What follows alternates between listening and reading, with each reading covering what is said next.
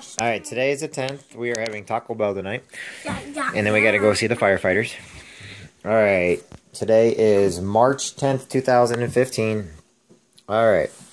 And we'll say a prayer for Mommy and for Gabby and for Grandma and for Poppy and for Aunt Megan, Aunt Megan's a unborn baby, and for Marilia and Matt and Braden and Maddie. Just call the baby Sam. Fudge. Fudge. I mean, We're calling the unborn baby Fudge.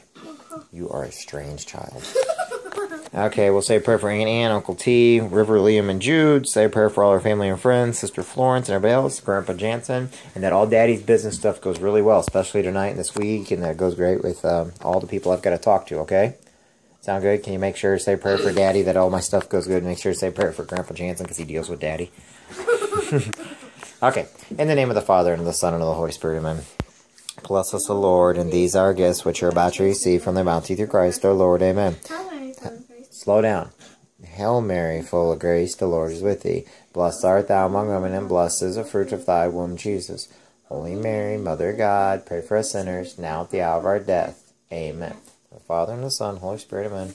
Praise Jesus Christ, now and forever. Amen. Okay.